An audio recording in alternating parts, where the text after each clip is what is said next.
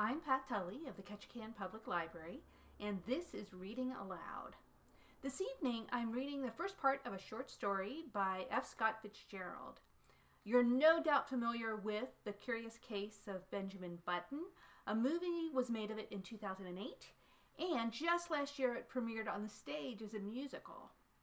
Fitzgerald said of the original story that it was inspired by a remark of Mark Twain's to the effect that it was a pity that the best part of life came at the beginning and the worst part at the end. After the story was published in Collier's magazine in 1921, Fitzgerald received a letter from a Cincinnati reader. Sir, I have read the story Benjamin Button in Collier's, and I wish to say that as a short story writer, you would make a good lunatic. I have seen many pieces of cheese in my life, but of all the pieces of cheese I have ever seen, you are the biggest piece. I hate to waste a piece of stationery on you, but I will. So, anyway, let's get started with the story The Curious Case of Benjamin Button. 1. As long ago as 1860, it was the proper thing to be born at home. At present, so I am told, the high gods of medicine have decreed that the first cry of the young shall be uttered upon the anesthetic air of a hospital, preferably a fashionable one. So young Mr. and Mrs. Roger Button were 50 years ahead of style when they decided, one day in the summer of 1860, that their first baby should be born in a hospital. Whether this anachronism had any bearing upon the astonishing history I am about to set down will never be known. I shall tell you what occurred and let you judge for yourself. The Roger Buttons held an enviable position, both social and financial, in antebellum Baltimore. They were related to the this family and the that family, which, as every Southerner knew, entitled them to membership in that enormous peerage which largely pop- populated the Confederacy. This was their first experience with the charming old custom of having babies. Mr. Button was naturally nervous.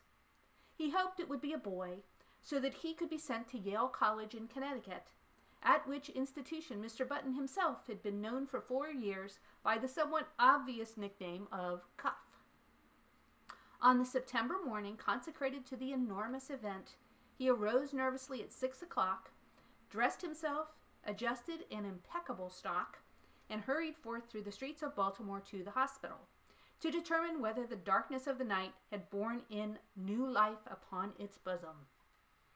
When he was approximately a hundred yards from the Maryland Private Hospital for Ladies and Gentlemen, he saw Dr. Keene, the family physician, descending the front steps, rubbing his hands together with a washing movement, as all doctors are required to do by the unwritten ethics of their profession. Mr. Roger Button, the president of Roger Button and Company, Wholesale Hardware, began to run toward Dr. Keene with much less dignity than was expected from a Southern gentleman of that picturesque period. Dr. Keene, he called. Oh, Dr. Keene. The doctor heard him, faced around, and stood waiting, a curious expression settling on his harsh, medicinal face as Mr. Button drew near. What happened? demanded Mr. Button as he came up in a gasping rush. What was it? How is she? A boy? Who is it? What? Talk sense, said Dr. Keene sharply. He appeared somewhat irritated. Is the child born? begged Mr. Button. Dr. Keene frowned. Why, yes, I suppose so, after a fashion. Again he threw a curious glance at Mr. Button. Is my wife all right? Yes. Is it a boy or a girl? Here now, cried Dr. Keene in a perfect passion of irritation. I'll ask you to go and see for yourself. Outrageous! He snapped the last word out in almost one syllable, and then he turned away, muttering, Do you imagine a case like this will help my professional reputation? One more would ruin me, ruin anybody. What's the matter? demanded Mr. Button, appalled. Triplets? No, not triplets, answered the doctor cuttingly. What's more, you can go and see for yourself. And get another doctor. I brought you into the world, young man, and I've been physician to your family for forty years. But I'm through with you. I don't want to see you or any of your relatives ever again. Goodbye. Then he turned sharply and without another word climbed into his phaeton, which was waiting at the curbstone, and drove severely away. Mr. Button stood there upon the sidewalk, stupefied and trembling from head to foot. What horrible mishap had occurred? He had suddenly lost all desire to go into the Maryland Private Hospital for ladies and gentlemen. It was with the greatest difficulty that, a moment later, he forced himself to mount the steps and enter the front door. A nurse was sitting behind a desk in the opaque gloom of the hall. Swallowing his shame, Mr. Button approached her. Good morning, she remarked, looking at him pleasantly. Good morning. I. I am Mr. Button. At this, a look of utter terror spread itself over the girl's face. She rose to her feet and seemed about to fly from the hall, restraining herself only with the most apparent difficulty. I want to see my child, said Mr. Button. The nurse gave a little scream. Oh, of course, she cried hysterically. Upstairs, right upstairs. Go up. She pointed the direction, and Mr. Button, bathed in cool perspiration, turned falteringly and began to mount to the second floor. In the upper hall, he addressed another nurse who approached him, basin in hand. I'm Mr. Button, he managed to articulate. I want to see my clank. The basin clattered to the floor and rolled in the direction of the stairs. Clank, clank. It began a methodical descent as if sharing in the general terror which this gentleman provoked. I want to see my child, Mr. Button almost shrieked. He was on the verge of collapse. Clank! The basin reached the first floor. The nurse regained control of herself and threw Mr. Button a look of hearty contempt. All right, Mr. Button, she agreed in a hushed voice. Very well. But if you knew what a state you've put us all in this morning, it's perfectly outrageous. The hospital will never have a ghost of a reputation after.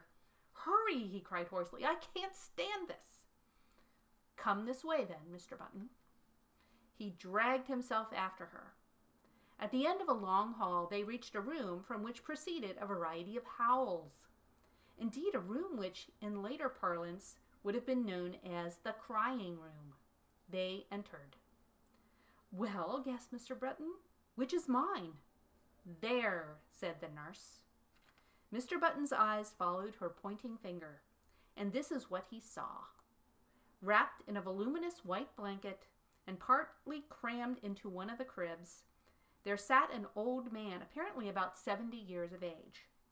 His sparse hair was almost white, and from his chin dripped a long, smoke colored beard, which waved absurdly back and forth, fanned by the breeze coming in at the window. He looked up at Mr. Button with dim, faded eyes in which lurked a puzzled question. Am I mad? thundered Mr. Button, his terror resolving into rage. Is this some ghastly hospital joke? It doesn't seem like a joke to us, replied the nurse severely, and I don't know whether you're mad or not, but that is most certainly your child. The cool perspiration redoubled on Mr. Button's forehead. He closed his eyes and then, opening them, looked again. There was no mistake. He was gazing at a man of three score and ten, a baby of three score and ten a baby whose feet hung over the sides of the crib in which it was reposing. The old man looked placidly from one to the other for a moment, and then suddenly spoke in a cracked and ancient voice. Are you my father? he demanded. Mr. Button and the nurse started violently. Because if you are, went the old man querulously, I wish you'd get me out of this place, or at least get them to put a comfortable rocker in here. Where in God's name did you come from? Who are you? burst out Mr. Button frantically. I can't tell you exactly who I am, replied the querulous whine, because I've only been born a few hours. But my last name is certainly Button. You lie. You're an impostor. The old man turned wearily to the nurse. Nice way to welcome a newborn child, he complained in a weak voice. Tell him he's wrong way, don't you? You're wrong, Mr. Button, said the nurse severely. This is your child, and you'll have to make the best of it. We're going to ask you to take him home with you as soon as possible sometime today. Home? repeated Mr. Button incredulously. Yes, we can't have him here. We really can't, you know. I am right glad of it, whined the old man. This is a fine place to keep a youngster of quiet tastes. With all this yelling and howling, I haven't been able to get a wink of sleep. I asked for something to eat. Here his voice rose to a shrill note of protest, and they brought me a bottle of milk. Mr. Button sank down upon a chair near his son and concealed his face in his hands. My heavens, he murmured, in an ecstasy of horror. What will people say? What must I do? You'll have to take him home, insisted the nurse, immediately. A grotesque picture formed itself with dreadful clarity before the eyes of the tortured man. A picture of himself walking through the crowded streets of the city with this appalling apparition stalking by his side. I can't, I can't, he moaned. People would stop to speak to him, and what was he going to say? He would have to introduce this, this septuagenarian. This is my son, born early this morning. And then the old man would gather his blanket around him, and they would plod on, past the bustling stores, past the luxurious houses of the residential district, past the home for the aged. Come, pull yourself together, commanded the nurse. See here, the old man announced suddenly. If you think I'm going to walk home in this blanket, you are entirely mistaken. Babies always have blankets. With a malicious cackle, the old man held up a small white swaddling garment. Look, he quavered, this is what they had ready for me.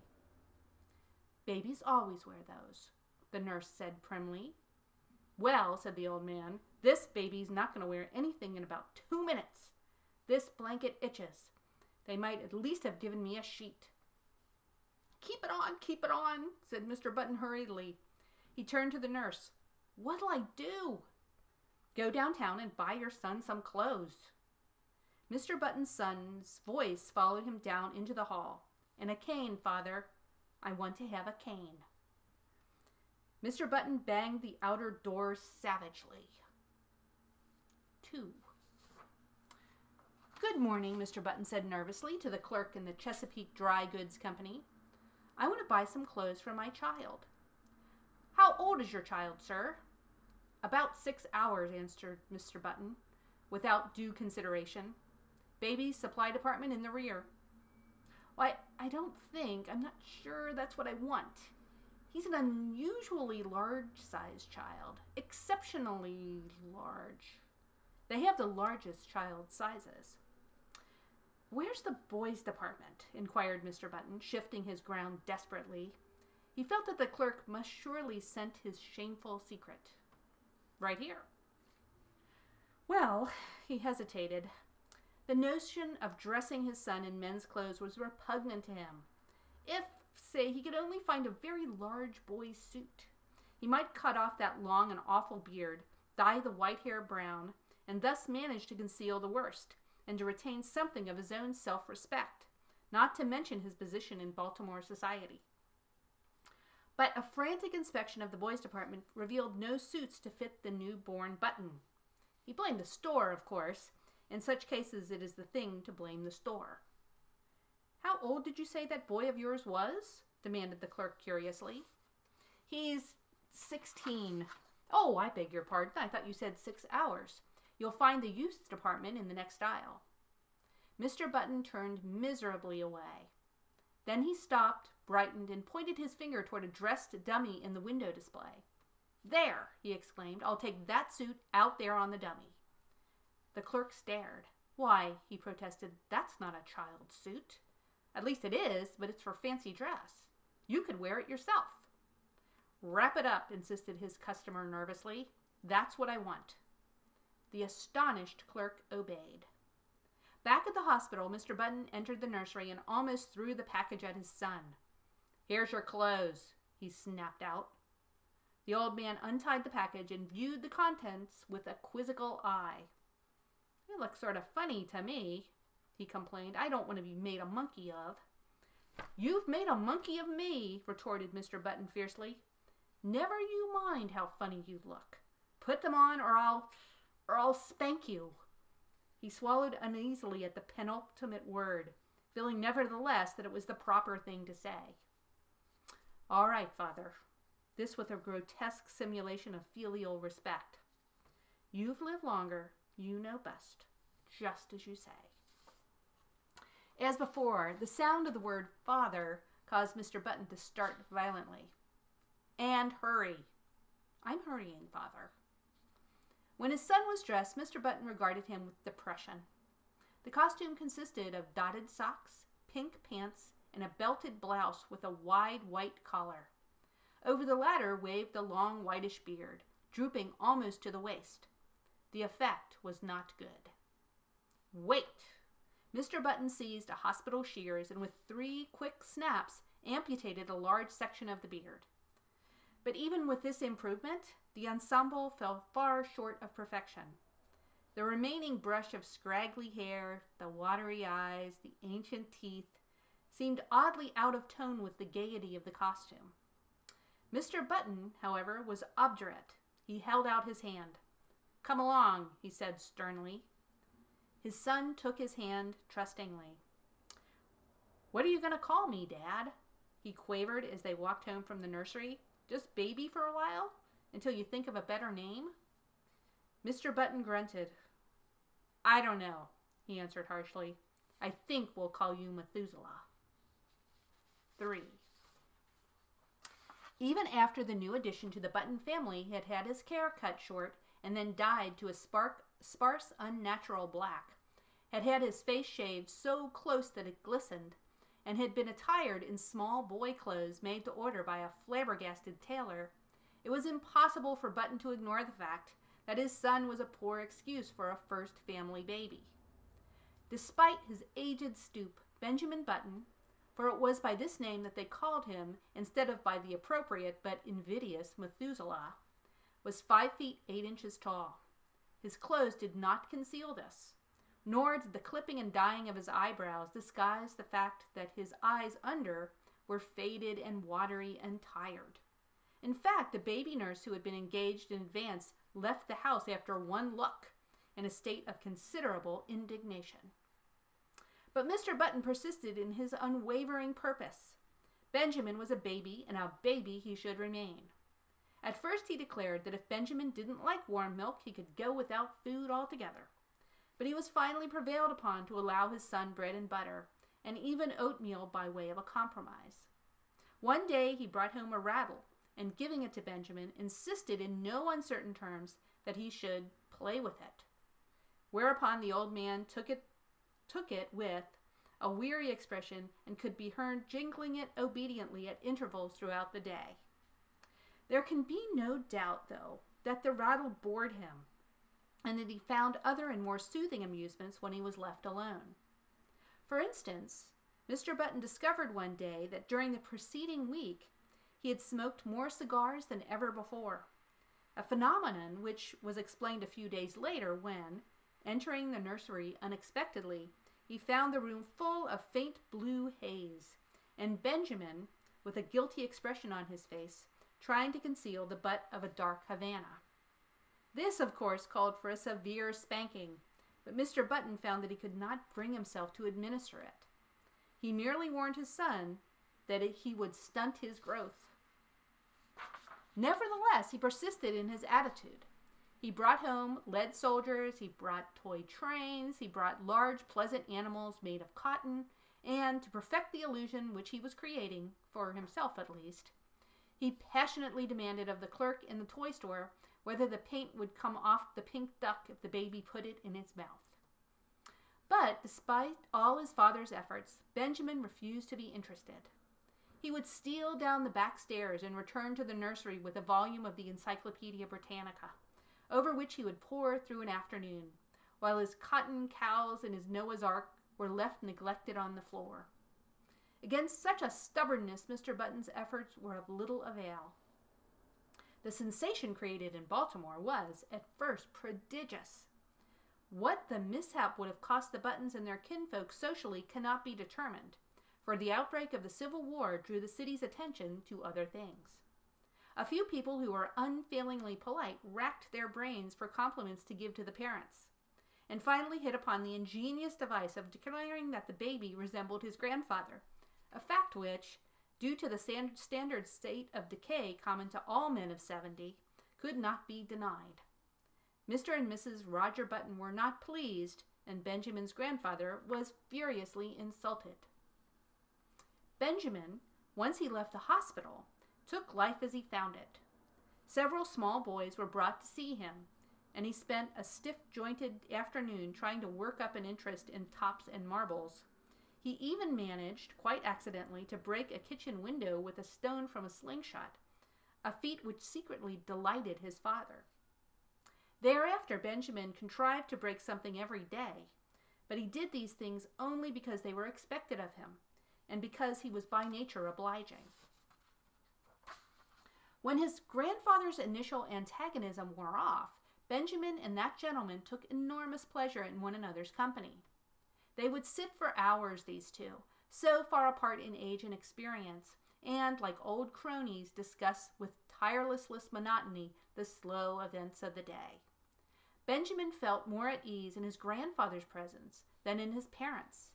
They seemed always somewhat in awe of him, and despite the dictatorial authority they exercised over him, frequently addressed him as Mr. He was as puzzled as anyone else at the apparent advanced age of his mind and body at birth. He read up on it in the medical journal, but found that no such case had been previously recorded. At his father's urging, he made an honest attempt to play with other boys, and frequently he joined in the milder games. Football shook him up too much, and he feared that in case of a fracture his ancient bones would refuse to knit. When he was five, he was sent to kindergarten, where he initiated into the art of pasting green paper on orange paper, of weaving colored maps, and manufacturing eternal cardboard necklaces. He was inclined to drowse off to sleep in the middle of these tasks, a habit which both irritated and frightened his young teacher. To his relief, she complained to his parents, and he was removed from the school. The Roger Buttons told their friends that they felt he was too young. By the time he was 12 years old, his parents had grown used to him. Indeed, so strong is the force of custom that they no longer felt that he was different from any other child, except when, when some curious anomaly reminded them of the fact. But one day, a few weeks after his 12th birthday, while looking in the mirror, Benjamin made, or thought he made, an astonishing discovery. Did his eyes deceive him? Or had his hair turned in the dozen years of his life from white to iron gray under its concealing dye? Was the network of wrinkles on his face becoming less pronounced? Was his skin healthier and firmer, with even a touch of ruddy winter color? He could not tell. He knew that he no longer stooped and that his physical conditions had improved since the early days of his life. Can it be, he thought to himself, or rather scarcely dared to think. He went to his father. I am grown, he announced determinedly. I want to put on long trousers. His father hesitated. Well, he said finally, I don't know. Fourteen is the age for putting on long trousers, and you are only twelve. But you'll have to admit, protested Benjamin, that I'm big for my age. His father looked at him with illusory speculation. Oh, I'm not so sure of that, he said. I was as big as you when I was twelve. This was not true. It was all part of Roger Button's silent agreement with himself to believe in his son's normality. Finally, a compromise was reached. Benjamin was to continue to dye his hair. He was to make a better attempt to play with boys of his own age, he was not to wear his spectacles or carry a cane in the street. In return for these concessions, he was allowed his first suit of long trousers. 4. Of the life of Benjamin Button between his 12th and 21st year, I intend to say little. Suffice to record that they were years of normal ungrowth. When Benjamin was 18, he was erect as a man of 50. He had more hair and it was of a dark gray. His step was firm, his voice had lost its cracked quaver and descended to a healthy baritone. So his father sent him up to Connecticut to take examinations for entrance to Yale College. Benjamin passed his examination and became a member of the freshman class. On the third day following his matriculation, he received a notification from Mr. Hart, the college registrar, to call at his office and arrange his schedule. Benjamin, glancing in the mirror, decided that his hair needed a new application of brown dye. But an anxious inspection of his bureau drawer disclosed that the dye bottle was not there. Then he remembered. He had emptied it the day before and thrown it away. He was in a dilemma. He was due at the registrar's in five minutes. There seemed to be no help for it. He must go as he was. He did. Good morning, said the registrar politely. You've come to inquire about your son. Why, as a matter of fact, my name's Button, began Benjamin, but Mr. Hart cut him off. I'm very glad to meet you, Mr. Button. I'm expecting your son here any minute. That's me, burst out Benjamin. I'm a freshman. What? I'm a freshman. Surely you're joking. Not at all. The registrar frowned and glanced at a card before him. Why, I have Mr. Benjamin Button's age down here as 18. That's my age, asserted Benjamin, flushing slightly. The registrar eyed him wearily. Now, surely, Mr. Button, you don't expect me to believe that. Benjamin smiled wearily. I'm 18, he repeated. The registrar pointed, pointed sternly to the door.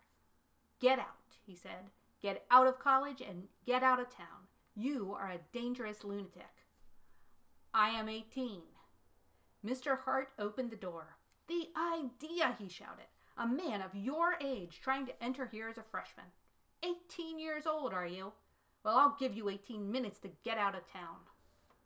Benjamin Button walked with dignity from the room, and half a dozen undergraduates, who were waiting in the hall, followed him curiously with their eyes.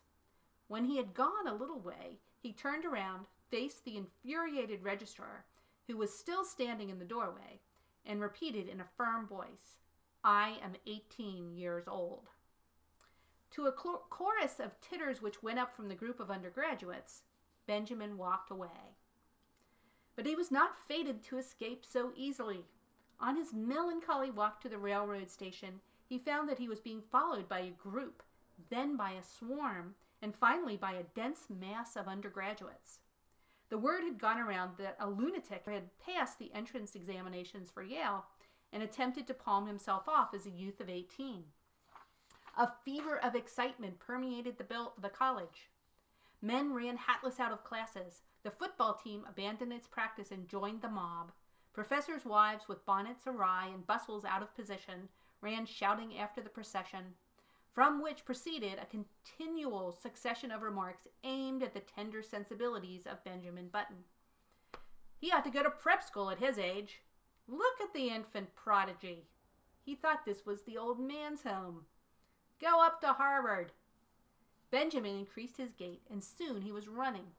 He would show them he would go to Harvard, and then they would regret these ill considered taunts.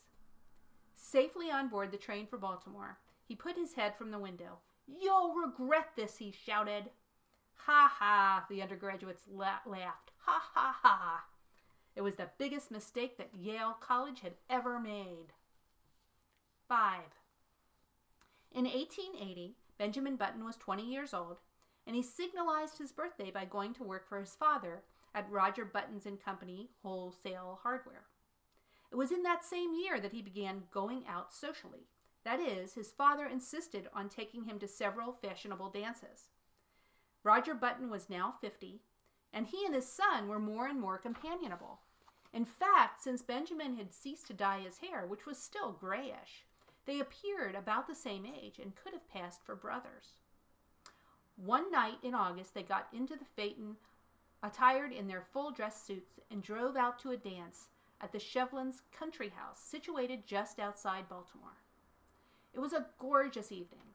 A full moon drenched the road to the lustreless color of platinum, and late blooming harvest flowers breathed into the motionless air aromas that were like low, half heard laughter.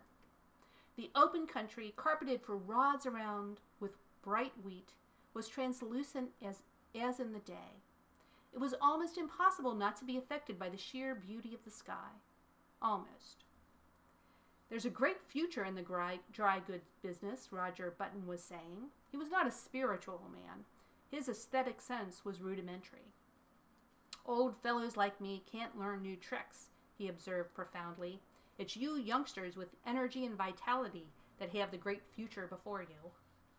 Far up the road, the lights of the Shevlins' country house drifted into view, and presently there was a sighing sound that crept persistently toward them. It might have been the fine plaint of violins or the rustle of silver wheat under the moon. They pulled up behind a handsome um, brougham whose passengers were disembarking at the door. A lady got out, then an elderly gentleman, then another young lady, beautiful as sin. Benjamin started. An almost chemical change seemed to dissolve and recompose the very elements of his body. A rigor passed over him, blood rose into his cheeks, his forehead, and there was a steady thumping in his ears. It was first love. The girl was slender and frail, with hair that was ashen under the moon and honey colored under the sputtering gas lamps of the porch. Over her shoulders was thrown a Spanish mantilla of softest yellow, butterflied in black. Her feet were glittering buttons at the hem of her bustled dress. Roger Button leaned over to his son. That, he said, is young Hildegarde Moncrief, the daughter of General Moncrief. Benjamin nodded coldly. Pretty little thing, he added indifferently. But when the boy had led the buggy away, he added, Dad, you might introduce me to her. They approached a group, of which Miss Moncrief was the center. Reared in the old tradition, she curtsied low before Benjamin. Yes, he might have a dance. He thanked her and walked away, staggered away. The interval until the time for his turn should arrive dragged itself out interminably. He stood close to the wall, silent, and inscrutable, watching with murderous eyes the young bloods of Baltimore as they eddied around Hildegarde Moncrief, passionate admiration in their faces. How obnoxious they seemed to Benjamin. How intolerably rosy. Their curling brown whiskers aroused in him a feeling equivalent to indigestion. But when his own time came, and he drifted with her out upon the changing floor to the music of the latest waltz from Paris. His jealousies and anxieties melted from him like a mantle of snow. Blind with enchantment, he felt that life was just beginning. You and your brother got here just as we did, didn't you? asked Hildegarde, looking up at him with eyes that were like bright blue enamel. Benjamin hesitated. If she took him for his father's brother, would it be best to enlighten her? He remembered his experience at Yale, so he decided against it. It would be rude to contradict a lady. It would be criminal to mar this exquisite occasion with the grotesque story of his origin. Later, perhaps. So he nodded, smiled, listened, and was happy. I like men of your age, Hildegarde told him. Young boys are so idiotic. They tell me how much champagne they drink at college and how much money they lose playing cards. Men of your age know how to appreciate women. Benjamin felt himself on the verge of a proposal. With an effort, he choked back the impulse. You're just the romantic age, she continued. Fifty. Twenty-five is too worldly wise. Thirty is apt to be pale from overwork. Forty is the age of long stories that take a whole cigar to tell. Sixty is, oh, well, 60 is too near 70. But 50 is the mellow age. I love 50. 50 seemed to Benjamin to be a glorious age. He longed passionately to be 50. I've always said, went on Hildegarde, that I'd rather marry a man of 50 and be taken care of than many a man of 30 and take care of him. For Benjamin, the rest of the evening was bathed in a honey colored mist. Hildegarde gave him two more dances, and they discovered that they were marvelous, marvelously in accord on all the questions of the day. She was to go driving with him on the following Sunday, and then they would discuss all these questions further. Going home in the phaeton just before the crack of dawn, when the first bees were humming and the fading moon glimmered in the cool dew, Benjamin knew vaguely that his father was discussing wholesale hardware. And what do you think should merit our biggest attention after hammers and nails? the elder Button was saying. Love, replied Benjamin absent mindedly. Lugs? exclaimed Roger Button. I have just covered the question of lugs. Benjamin regarded him with dazed eyes, just as the eastern sky was suddenly cracked with light, and an oriole yawned piercingly in the quickening trees. 6. When, six months later, the engagement of Miss Hildegarde Moncrief to Mr. Benjamin Button was made known, I say made known, for General Moncrief declared that he would rather fall upon his sword than announce it. The excitement in Baltimore society reached a feverish pitch. The almost forgotten story of Benjamin's birth was remembered and sent out upon the winds of scandal in picaresque and incredible forms. It was said that Benjamin was really the father of Roger Button, that he was his brother who had been in prison for 40 years, that he was John Wilkes Booth in disguise, and finally that he had two small conical horns sprouting from his head. The Sunday supplements of the New York papers played up the case with fascinating sketches which showed the head of Benjamin Button attached to a fish, to a snake, and finally to a body of solid brass. He became known journalistically as the Mystery Man of Maryland. But the true story, as is usually the case, had a very small circulation. However, everyone agreed with General Moncrief that it was criminal for a lovely girl who could have married any beau in Baltimore to throw herself into the arms of a man who was assuredly fifty. In vain, Mr. Roger Button published his son's birth certificate in large type in the Baltimore Blaze. No one believed it. You only had to look at Benjamin and see. On the part of the two people most concerned, there was no wavering. So many of the stories about her fiance were false that Hildegarde refused stubbornly to believe even the true one. In vain, General Moncrief pointed out to her the high mortality among men of fifty, or at least among men who looked fifty. In vain, he told her of the instability of the wholesale hardware business. Hildegarde had chosen to marry for mellowness, and marry she did. 7. In one particular, at least, the friends of Hildegarde Moncrief were mistaken. The wholesale hardware business prospered amazingly. In the 15 years between Benjamin Button's marriage in 1880 and his father's retirement in 1895, the family fortune was doubled, and this was due largely to the younger member of the firm. Needless to say, the Baltimore eventually received its, the couple to its bosom. Even old General Moncrief became reconciled to his son in law when Benjamin gave him the money to bring out his History of the Civil War in 20 volumes, which had been refused by nine prominent publishers. In Benjamin himself, 15 years had wrought many changes. It seemed to him that the blood flowed with new vigor through his veins. It began to be a pleasure to rise in the morning, to walk with an active step among the busy, sunny street, to work untiringly with his shipment of hammers and his cargoes of nails. It was in 1890 that he executed the, his famous business coup. He bought up the suggestion that all nails used in the nailing up of boxes in which nails are shipped are the property of the shippee, a proposal which became a statute, was approved by Chief Justice Fossile, and saved Roger Button and Company, Wholesale Hardware, more than 600 nails a year. In addition, Benjamin discovered that he was becoming more and more attracted by the gay side of, life, side of life. It was typical of his growing enthusiasm for pleasure that he was the first man in the city of Baltimore to own and run an automobile. Meeting him on the street, his contemporaries would stare enviously at the picture he made of health and vitality. He seems to grow younger every year, they would remark.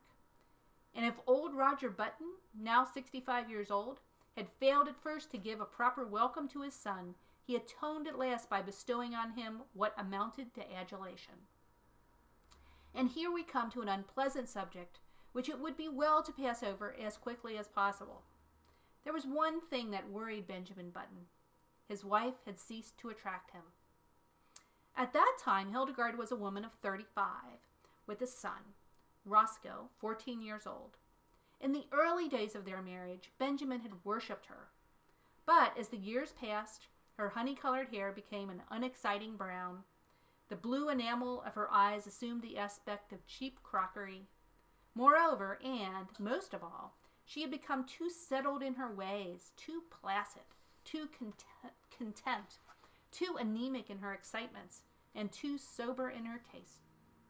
As a bride, it had been she who had dragged Benjamin to dances and dinners. Now conditions were reversed. She went out socially with him, but without enthusiasm, devoured already by that eternal inertia which comes to live with each of us one day and stays with us till the end. Benjamin's discontent waxed stronger. At the outbreak of the Spanish American War in 1898, his home had for him so little charm that he decided to join the army.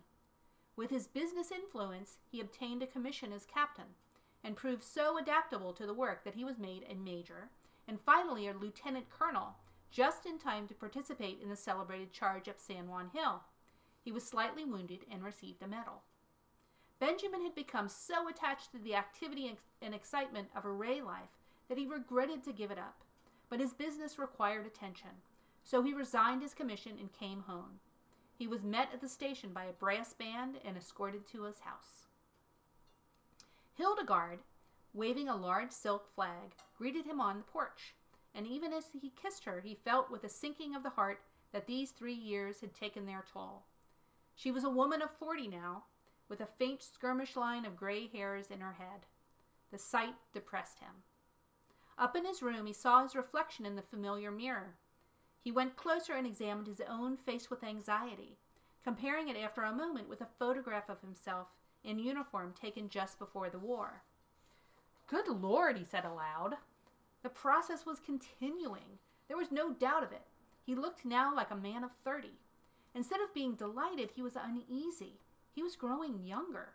He had hitherto hoped that once he reached a bodily age equivalent to his age in years, the grotesque phenomenon which had marked his birth would cease to function. He shuddered. His destiny seemed to him awful, incredible. When he came downstairs, Hildegarde was waiting for him. She appeared annoyed, and he wondered if she had at last discovered that there was something amiss. It was with an effort to relieve the tension between them that he broached the matter at dinner in what he considered a delicate way. Well, he remarked lightly, everybody says I look younger than ever. Hildegarde regarded him with scorn. She sniffed. Do you think that's anything to boast about? I'm not boasting, he asserted uncomfortably. She sniffed again. The idea, she said, and after a moment, I should think you'd have enough pride to stop it. How can I? he demanded. demanded. I'm not going to argue with you, she retorted, but there's a right way of doing things and a wrong way. If you've made up your mind to be different from everybody else, I don't suppose I can stop you, but I really don't think it's very considerate. But, Hildegarde, I can't help it. You can too. You're simply stubborn. You think you don't want to be like anybody else. You have always been that way and you always will be. But just think how it would be if everybody else looked at things as you do. What would the world be like? As this was a, an inane and unanswerable argument, Benjamin made no reply, and from that time on a chasm began to widen between them. He wondered what possible fascination she had ever exercised over him. To add to the breach, he found, as the new century gathered headway, that his thirst for gaiety grew stronger. Never a party of any kind in the city of Baltimore, but he was there, dancing with the prettiest of the young married women, chatting with the most popular of the debutantes, and finding their company charming, while his wife, a dowager of evil omen, sat among the chaperons, now in haughty disapproval, and now following him with solemn, puzzled, and reproachful eyes. Look, people would remark, what a pity! A young fellow that age tied to a woman of forty five. He must be twenty years younger than his wife. They had forgotten, as people inevitably forget, that back in 1880 their mammas and papas had also remarked about this same ill matched pair. Benjamin's growing unhappiness at home was com- compensated for by his many new interests. He took up golf and made a great success of it. He went in for dancing. In 1906, he was an expert at the Boston, and in 1908, he was considered proficient at the Maxine, while in 1909, his castle walk was the envy of every young man in town. His social activities, of course, interfered to some extent with his business. But then he had worked hard at wholesale hardware for 25 years and felt that he could soon hand it on to his son, Roscoe, who had recently graduated from Harvard. He and his son were, in fact, often mistaken for each other. This pleased Benjamin. He soon forgot the insidious fear which had come over him on his return from the Spanish American War and grew to take a naive pleasure in his appearance. There was only one fly in the delicious ointment. He hated to appear in public with his wife. Hildegarde was almost fifty, and the sight of her made him feel absurd. 9. One September day in 1910, a few years after Roger Button and Company wholesale hardware had been handed over to young Roscoe Button, a man, apparently about 20 years old, entered himself as a freshman at Harvard University in Cambridge. He did not make the mistake of announcing that he would never see 50 again, nor did he mention the fact that his son had been graduated from the same institution 10 years before. He was admitted and almost immediately attained a prominent position in the class, partly because he seemed a little older than the other freshmen, whose average age was about 18. But his success was largely due to the fact that in the football game with Yale, he played so brilliantly, with so much dash, and with such a cold, remorseless anger that he scored seven touchdowns and 14 field goals for Harvard, and caused one entire 11 of Yale men to be carried singly from the field, unconscious. He was the most celebrated man in college. Strange to say, in his third or junior year, he was scarcely able to make the team. The coaches said that he had lost weight, and it seemed to the more observant among them that he was not quite so tall as before. He made no touchdowns. Indeed, he was retained on the team, team chiefly in hope that his enormous reputation would bring terror and disorganization to the Yale team. In his senior year, he did not make the team at all. He had grown so slight and frail that one day he was taken by some sophomores for a freshman, an incident which humiliated him terribly. He became known as something of a prodigy, a senior who was surely no more than 16, and he was often shocked at the worldliness of some of his classmates. His studies seemed harder to him. He felt they were too advanced. He had heard his classmates speak of St. Midas's, the famous preparatory school, at which so many of them had prepared for college, and he determined after his graduation to enter himself at St. Midas's, where the sheltered life among boys his own size would be more congenial to him. Upon his graduation in 1914, he went home to Baltimore with his Harvard diploma in his pocket. Hildegarde was now residing in Italy, so Benjamin went to live with his son, Roscoe. But though he was welcomed in a general way, there was obviously no heartiness in Roscoe's feeling toward him.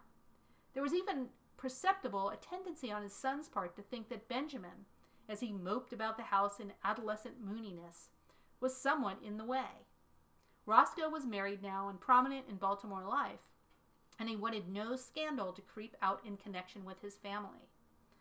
Benjamin, no longer persona grata with the debutantes and younger college set, found himself left much alone, except for the companion of three or four 15 year old boys in the neighborhood. His idea of going to St. Midas's school recurred to him. Say, he said to Roscoe one day, I've told you over and over that I want to go to prep school. Well, go then, replied Roscoe shortly. The matter was distasteful to him, and he wished to avoid a discussion. I can't go alone, said Benjamin helplessly. You have to enter me and take me up there. I haven't got time, declared Roscoe abruptly. His eyes narrowed, and he looked uneasily at his father. As a matter of fact, he added, you'd better not go on with this business much longer. You better pull up short. You better, you better, he paused and his face crimson as he t- sought for words. You'd better turn right around and start back the other way. This has gone too far to be a joke. It isn't funny any longer. You, you behave yourself. Benjamin looked at him on the verge of tears. And another thing, continued Roscoe. When visitors are in the house, I want you to call me Uncle. Not Roscoe, but Uncle. Do you understand? It looks absurd for a boy of 15 to call me by my first name. Perhaps you'd better call me Uncle all the time so you'll get used to it. With a harsh look at his father, Roscoe turned away. 10. At the termination of this interview, Benjamin wandered dismally upstairs and started himself in the mirror. He had not shaved for three months, but he could find nothing on his face but a faint white down, which it seemed unnecessary to meddle. When he had first come home from Harvard, Roscoe had approached him with the proposition that he should wear eyeglasses and imitation whiskers glued to his cheeks, and it seemed for a moment that the farce of his early years was to be repeated. But whiskered his but the whiskers had itched and made him ashamed. He wept, and Roscoe had reluctantly relented.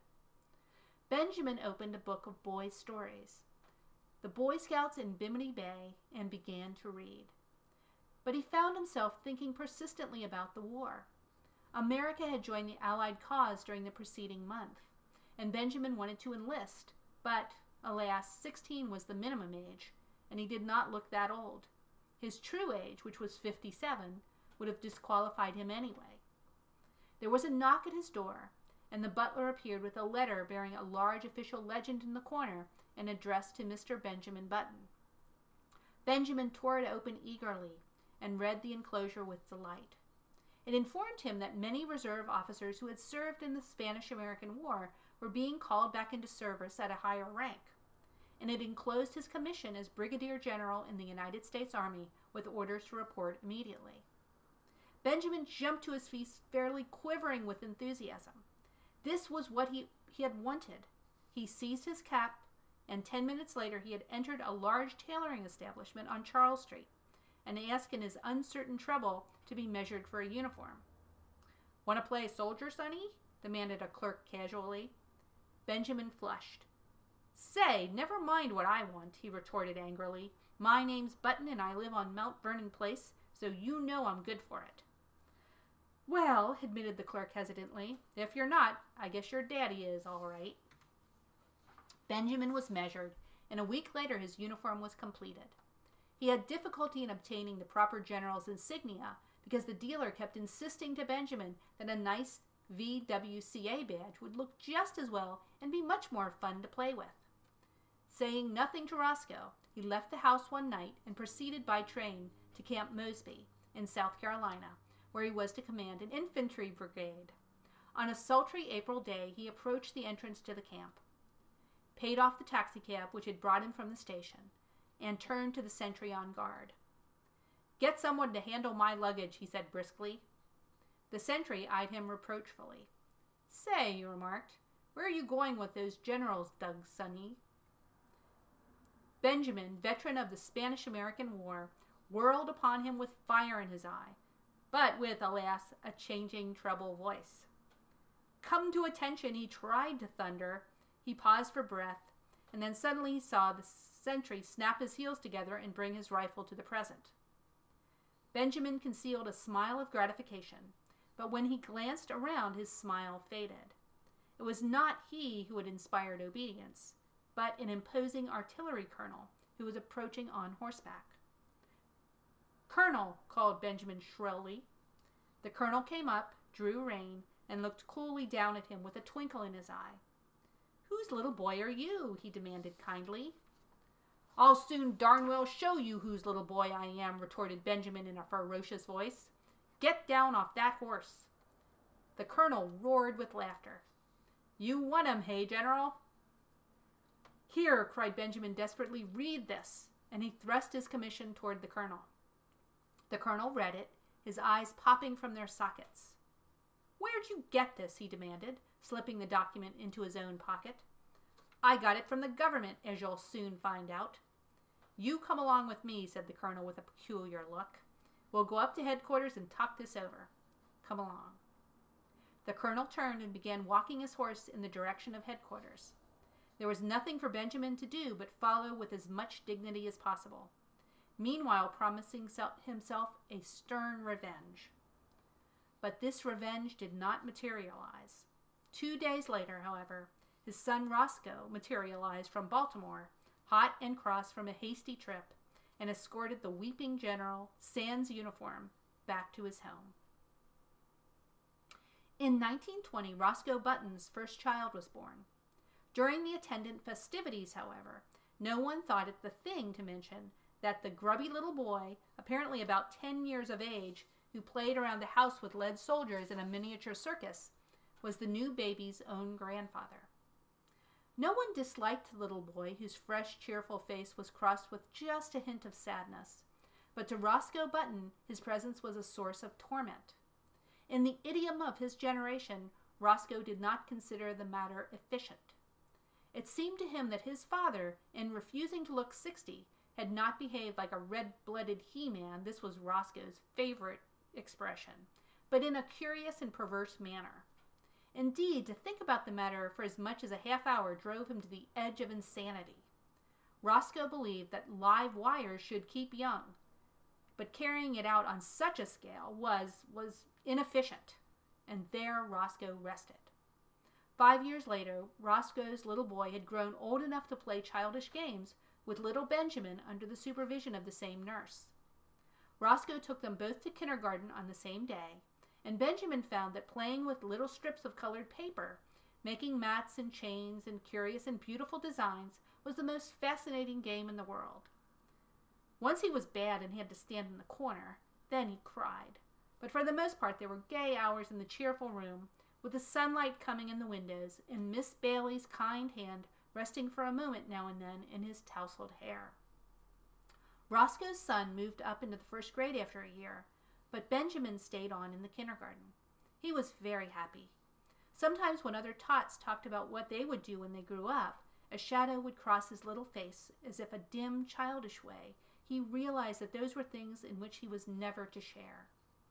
The days flowed on in monotonous content. He went back a third year to the kindergarten, but he was too little now to understand what the bright, shining strips of paper were for. He cried because the other boys were bigger than he, and he was afraid of them. The teacher talked to him, but though he tried to understand, he could not understand at all. He was taken from the kindergarten. His nurse, Nana, in her starched gingham dress, became the center of his tiny world. On bright days, they walked in the park. Nana would point out a great gray monster and say, elephant and Benjamin would say it after her. And when he was being undressed for bed that night, he would say over and over aloud to her, Elephant, elephant, elephant. Sometimes Nana let him jump on her bed, which was fun because if you sat down exactly right, it would bounce you up on your feet again. And if you said ah for a long time while you jumped, you got a very pleasing bro- broken vocal effect. He loved to take a big cane from the hat rack and go around hitting chairs and table with it, saying, Fight, fight, fight. When there were people there, the old ladies would cluck at him, which interested him, and the young ladies would try to kiss him, which he submitted to with mild boredom. And when the long day was done at five o'clock, he would go upstairs with Nana and be fed on oatmeal and nice, soft, mushy foods with a spoon. There were no troublesome memories in his child's, childish sleep. No token came to him of his brave days at college, of the glittering years when he flustered the hearts of many girls.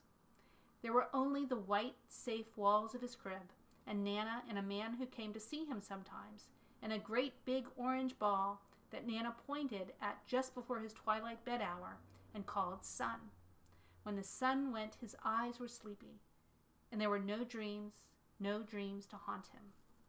The past, the wild charge at the head of his men up San Juan Hill, the first years of his marriage when he worked late into the summer dusk down in the busy city for young Hildegarde, who he loved. The days before that, when he sat smoking far into the night in the gloomy old Button house on Monroe Street with his grandfather, all these had faded like unsubstantial dreams from his mind as though they had never been. He did not remember. He did not remember clearly whether the milk was warm or cool at his last feeding, or how many days passed. There was only his crib and Nana's familiar presence. And then he remembered nothing. When he was hungry, he cried. That was all. Through the noons and nights, he breathed, and over him there were soft mumblings and murmurings that he scarcely heard, and faintly differentiated smells, and light, and darkness.